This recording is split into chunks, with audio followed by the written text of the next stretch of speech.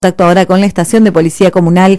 Está en línea el comisario Luis Almirón. Comisario, buen día, muchísimas gracias por atendernos. Buen día, Andrea. Eh, comisario, ¿cuáles han sido las actuaciones del personal en las últimas horas?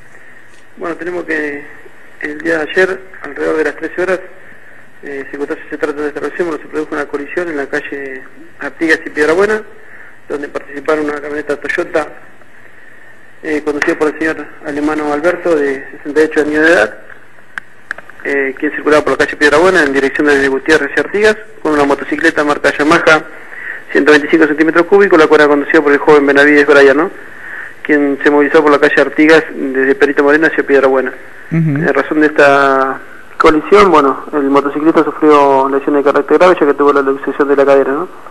Esta circunstancia, bueno, se están logrando actuaciones por el delito de lesiones graves culposas. También tenemos que el día de ayer, en el mediodía, se tomó la denuncia del señor Villarreal Guillermo, quien refiere que entre las 9 y las 11 de la mañana, bueno, ignorados le ingresaron a su, al patio de su vivienda, ubicada en Espora al 557, y le trajeron un bombeador, del cual no recuerdo la marca.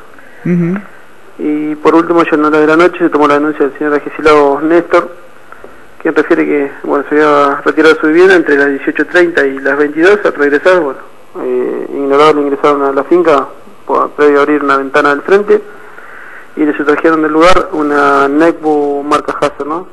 Y, una cámara digital. Esto es lo que tenemos, Andrea. ¿E-, ¿En qué domicilio ocurrió este último hecho? al 800. Bien.